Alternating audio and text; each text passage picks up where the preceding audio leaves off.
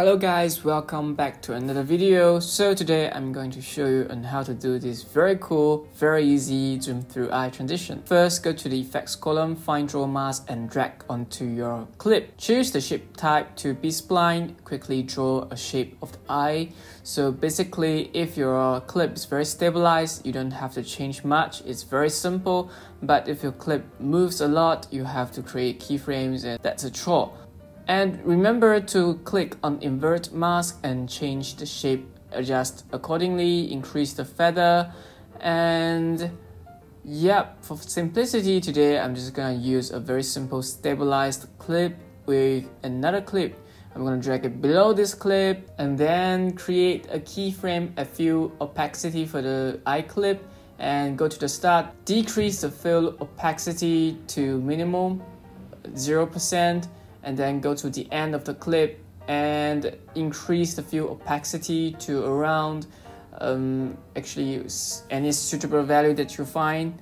And then it's okay if this clip looks weird because you can always change the actual compositing opacity later but I'm gonna go to the second clip and also bring down the opacity to a suitable value. Go to the start of the clip decrease to 0% for the second clip for opacity and increase a little bit in the middle and increase to maximum 100% at the end of the clip the first clip actually. And then and then if you play it back you can see that there's a gradual change from the eye the pupil of the eye to the second clip. And then we're going to go to crop and find Ken Burns and then go to the first clip. And you can see that there are actually two boxes one green one red. Green one make sure you adjust to cover entire screen. And the red one for this case I'm going to just adjust till it covers partially of this pupil.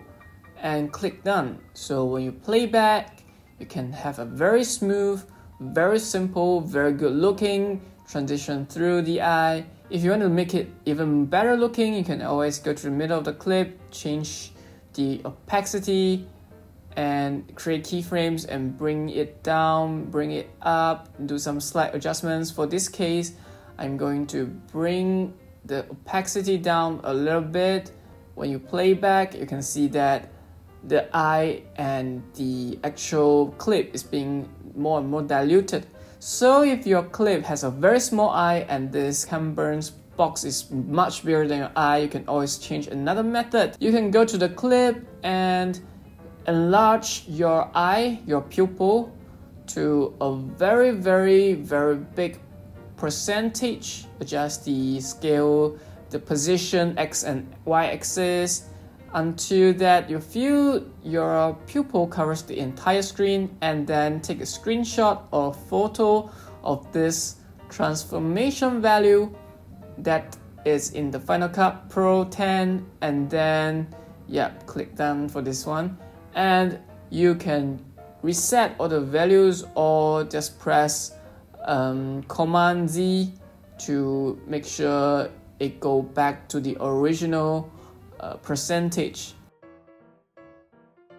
And then go to the end of the clip and always create keyframes for scale all and position. And type the x axis value for the screenshot one and y axis value is 1250 and as well as the scale all value 665 percent. And once you go back to the start you can see that the pupil is very very big. Don't panic. You can always create keyframes again on position and scale and reset the position to both 0 and go back to the original scale that I have just now is actually 109% and when you play back it looks good and you can always readjust the opacity for this case I'm going to bring down the compositing opacity even further so this zoom through eye transition has a very very good looking effect And that's all for today's video. Hope you guys enjoy and please subscribe to my channel. Hit the like button and bye bye.